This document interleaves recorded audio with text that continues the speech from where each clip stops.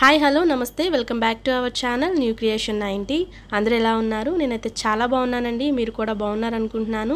ఈరోజు వీడియో వచ్చేసి నా స్టైల్లో బంగాళదుంప ఫ్రైని ఎలా ప్రిపేర్ చేసుకోవాలి అన్నది వీడియోలో చూపిస్తాను. చాలామంది బంగాళదుంపలంటే పీసెస్గా కట్ చేసుకుని ఫ్రై చేసుకుంటూ ఉంటారు. మేమైతే ఈ విధంగా ఫ్రై చేసుకుంటామండి. చాలా బాగుంటుంది టేస్ట్. ఈ ఫ్రై వచ్చేసి పప్పుచారు అలాగే చింతపండు చారు వీటిల్లోకి చాలా బాగుంటుంది. ఎప్పుడూ చేసుకునేలా కాకుండా డిఫరెంట్గా ఒకసారి అయితే ఈ విధంగా ట్రై చేయండి. ట్రై చేసి ఎలా వచ్చింది అన్నది కూడా కామెంట్ సెక్షన్లో కామెంట్ చేయండి. ఇప్పుడైతే లేట్ చేయకుండా వీడియో స్టార్ట్ చేసేద్దాము. ముందుగా నేను ఇక్కడ ఒక అర కేజీ బంగాళదుంపలను తీసుకుంటున్నాను. ఈ బంగాళదుంపలను రెండు ముక్కలుగా కట్ చేసి కుక్కర్లో మనం ఉడికించుకోవాలి. ఇలా ఉడికిన తర్వాత పైనున్న తొక్కును ఈ విధంగా తీసేసి బంగాళదుంపలను మనం పక్కన పెట్టేసుకుందాము. మీరు ఇక్కడ చూస్తున్నారు కదా ఈ మూకుడు వచ్చేసి మా అమ్మమ్మకి వాళ్ళ అమ్మగారు ఇచ్చారు తర్వాత మా అమ్మమ్మ మా మమ్మీకి ఇచ్చారు ఇది ఎన్నో ఇయర్స్ మూకిడు అనమాట మేము ఎక్కువగా దీంట్లోనే ఫ్రై చేసుకుంటూ ఉంటాము. ఇంకా ఉన్నాయి కానీ ఎక్కువగా దీన్నే యూజ్ చేస్తాము. ఎంతైనా ఓల్డ్ ఈజ్ గోల్డ్ కదండి. నచ్చితే తప్పకుండా కామెంట్ చేయండి. ఇప్పుడైతే ప్రాసెస్లోకి వెళ్ళిపోదాము. ఈ విధంగా స్టవ్ వెలిగించుకొని కడాయి పెట్టుకొని నేను ఇక్కడ చూపిస్తున్నాను కదండి. దానితో ఒక ఫోర్ స్పూన్స్ వేస్తున్నాను ఆయిల్.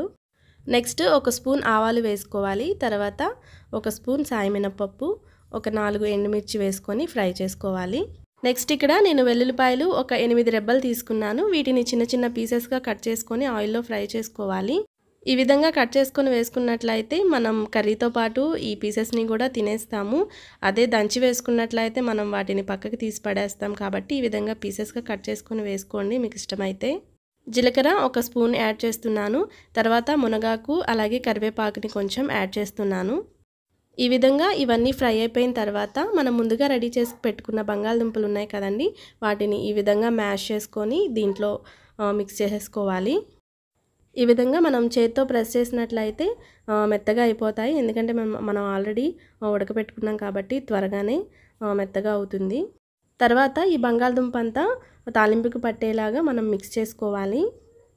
మధ్య మధ్యలో ఈ విధంగా తిప్పుతూ ఉండండి అడుగంటకుండా ఉంటుంది. తర్వాత ఆయిల్లో ఈ విధంగా ఫ్రై చేసుకున్న తర్వాత ఒక స్పూన్ పసుపుని యాడ్ చేసుకోవాలి. పసుపుని యాడ్ చేసుకున్న తర్వాత మొత్తం పసుపు అంతా దానికి పట్టేలాగా మనం మిక్స్ చేసుకోవాలి. నెక్స్ట్ తగినంత సాల్ట్ వేసుకొని బాగా మిక్స్ చేసుకోవాలి. చాలా సింపుల్ అండి. చాలా ఈజీగా అయిపోతుంది ఫ్రై అనేది. ఖచ్చితంగా ఒకసారి అయితే మీరు ట్రై చేయండి.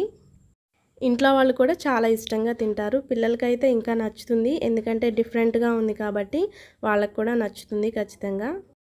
తర్వాత ఒక స్పూన్ కారాన్ని యాడ్ చేస్తున్నాను. కారం యాడ్ చేసిన తర్వాత మళ్ళీ ఇదంతా మిక్స్ చేసుకోవాలి. తిప్పుతూ ఉండాలండి. లేదంటే అడుగంటుతూ ఉంటుంది. చూస్తుంటేనే కలర్ఫుల్గా ఉంది కదా. పసుపు వేసేసరికి మనకి కలర్ అనేది యాడ్ అయ్యింది ఒకవేళ పసుపు ఇష్టం లేకపోతే స్కిప్ చేసేసుకోండి. అలాగే ఆయిల్ కూడా కొంచెం వేసుకున్నట్లయితే అడుగంటకుండా ఉంటుంది.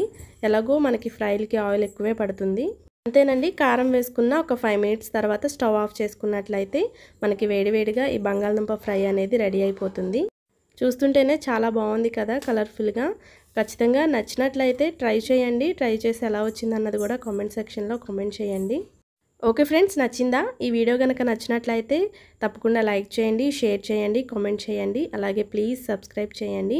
పక్కనే ఉన్న బెల్ సింబల్ని క్లిక్ చేసినట్లయితే నేను చేసే ప్రతి వీడియో మీకు నోటిఫికేషన్ ద్వారా వస్తుంది. కాబట్టి ప్లీజ్ సబ్స్క్రైబ్ చేసి నన్ను నా ఛానల్ని సపోర్ట్ చేయండి. ఇంకా మరిన్ని మంచి వీడియోస్ చేయడానికి నేను తప్పకుండా ట్రై చేస్తాను. Okay friends thank for watching bye bye